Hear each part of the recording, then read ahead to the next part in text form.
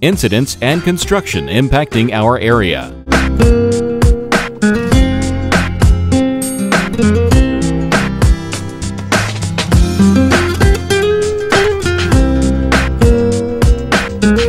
The current average trip times for our area.